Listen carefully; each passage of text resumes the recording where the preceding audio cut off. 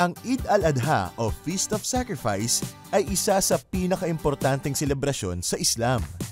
Ginaganap ito sa huling araw ng Hajj o ang pilgrimage ng mga Muslim sa Holy City ng Mecca sa Saudi Arabia. Ginugunita dito ang pagsunod ng propetang si Ibrahim sa utos ni Allah na patayin at isakripisyo ang kanyang panganay na si Ismael nang walang pag-aalinlangan. Ikinatuwa ni Allah ang katapatan ni Ibrahim kaya naman bago nito maisakripisyo ang anak, ay binigyan niya ito ng tupa bilang kapalit na alay. Sa pagdiriwang ng Eid al-Adha, nag-aalay ng dasal ang mga Muslim sa moske.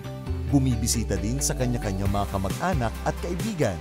Nagbibigay din sila ng alay o donasyon para sa kawang gawa.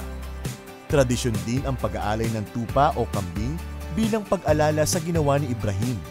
Hinahati nila ang karne sa tatlong bahagi ang unang bahagi ay ipinamimigay sa mga kamag-anak o kaibigan.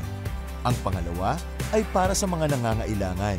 At ang pangatlo ay para sa kanilang pamilya. Ipinapaalala ng pagdiriwang ng Eid al-Adha ang kahalagahan ng pagsasama-sama at pagbibigayan sa relihiyong Islam. Kaalamang sari-sari mula sa Knowledge Factory.